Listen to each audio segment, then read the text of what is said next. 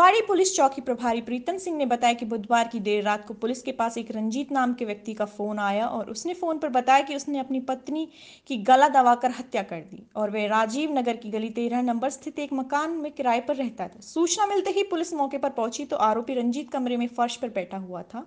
उसके पास उसकी पत्नी नविता मृत अवस्था में पड़ी हुई थी, जिसके बाद पुलिस ने शव को कब्जे में लेकर पोस्टमार्टम के लिए पलवल के नागरिक अस्पताल भिजवाया और मौके पर आरोपी को गिरफ़्तार किया। पुलिस का कहना है कि इस मामले में मकान मालिक राजीव नगर की गली नंबर तेरह, निवासी रघुवीर सिंह ने पुलिस में शिकायत दर्ज करवाई कि उसने अपने मकान के ऊपर वाले तीन कमरे किराए पर दिए हुए हैं। एक कमरे में उत्तर प्रदेश के जिला हाथरस के थाना सांसी अंतर्गत नंदोना, नगला, लच्छी निवासी रंजीत अपनी पत्नी नविता के साथ रहता है, जिनके बीच अक्सर झगड़ा होता रहता है। छोटी छोटी बातों पर रंजीत अपनी पत्नी के साथ अक्सर मारपीट करता रहता था।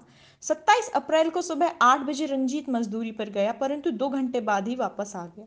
घर आकर पति पत्नी के बीच झगड़ा शुरू हो गया। रंजीत से पूछने पर बताया कि वह नविता को अपने साथ गाँव ले जाना चाहता था, परंतु वह मना कर रही है। दोनों को शांत करा दिया और दोनों बाहर चले गए। रात को करीब 11 बजे वापस लौटे। आते ही दोनों के बीच फिर से झगड़ा शुरू हो गया। रात के करीब डेढ़ बजे कमरे से चिल्लाने की आवाज़ सुनाई दी, वह ऊपर पहुँचा तो कमरा बंद था।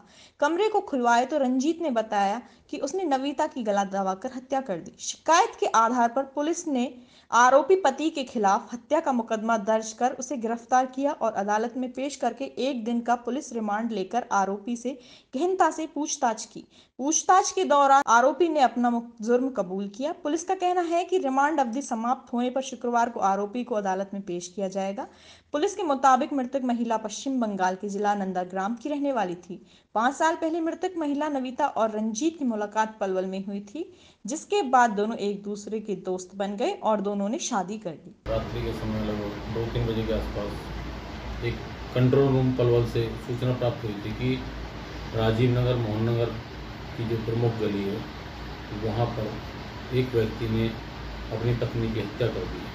सूचना पाकर मैं स्टाफ सहित मौके पर पहुँचा? यहाँ पर सूचना सच्ची पाई गई। तो वहाँ मृतिका की लाश पड़ी हुई निकिता बेसिकली नंदगांव नंदनी गाँव, कलकत्ता वेस्ट बंगाल की रहने वाली है। जो पहले कलुआ का गाँव आगरा के आसपास है, वहाँ पर शादीशुदा थी। वहाँ से संवेद विच्छेद होने के उपरांत किन्हीं परिस्थितियों में इस लड़के के संपर्क में आई? ये लड़का रंजीत महावीर निवासी नंदौनी हाथरस के पास का रहने वाला है। यहाँ पर राकेश कुमार रघुवीर सिंह के मकान में किराए पर रहता था, लगभग पिछले पाँच छः महीने से। और अपनी पत्नी पर अपने घरेलू कलह और शक बिना पर इसने अपनी पत्नी की हत्या कर दी। जो आरोपी को गिरफ़्तार कर लिया गया था कल ही, उसके उपरांत कल कोर्ट में पेश किया गया। एक दिन का पुलिस रिमांड हासिल किया गया।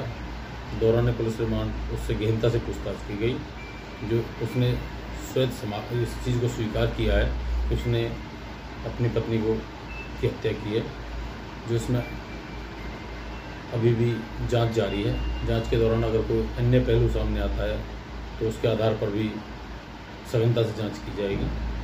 तफ्तीश बकाया है। आरोपी को आज पेश अदालत किया जाएगा।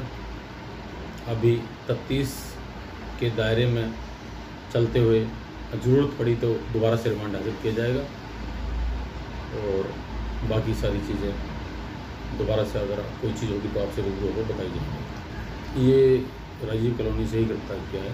उपरांत इसने स्वयं एक सौ बारह पर कॉल की है कि मैंने अपनी पत्नी की हत्या कर दी और कंट्रोल रूम में भी इसने कॉल किया कि मैंने अपनी पत्नी की हत्या कर दी। और स्वयं स्वीकारने के उपरांत इसको कल कोर्ट में पेश किया गया था। एक दिन का रिमांड हासिल किया गया था। तफ्तीश अभी जारी है।